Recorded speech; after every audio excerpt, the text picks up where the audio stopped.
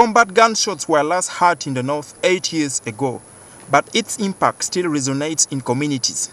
Because of a number of challenges here, Daniel Komakech, the director of Gulu University's Institute of Peace and Strategic Studies, believes that the region is far from peaceful. So we still have conflicts except they've changed the, uh, the nature.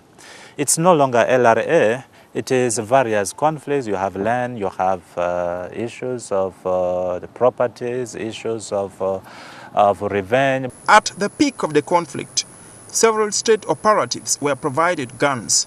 Vigilante groups like the Amuka and Arrow Boys in Lango and Teso were also formed. Now questions linger over their demobilization and resettlement.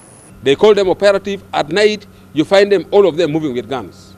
And they may say, we are making patrols. You ask yourself, where are they getting those guns from?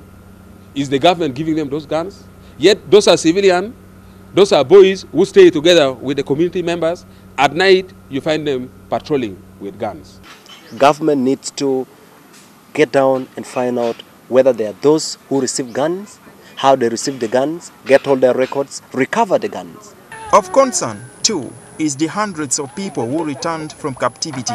Many guns have been collected from them, but there are worries that some may not have handed in their weapons. We are also beginning to hear that there are those who probably escaped from captivity and, and they, they had guns. And some of them, for either fear of, uh, uh, many of them were not sure what would happen. So some of them, out of fear, decided to hide their guns. People actually trust religious leaders, people trust cultural leaders. UPDF, well, UPDF has its law. You have illegal gun. What do we do? That is treason. That is an offense. Let them bring over these weapons to us. We have no trouble with them.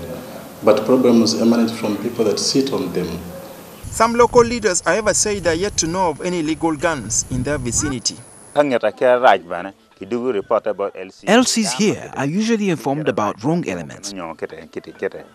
Most of the more than 26,000 former LRA abductees have been resettled by non-governmental organizations like World Vision. But with no long-term government plan for their recovery, the excitement that welcomed their return has evaporated. The orientation in the bush was that you don't have anything, pick a gun, you get what you want.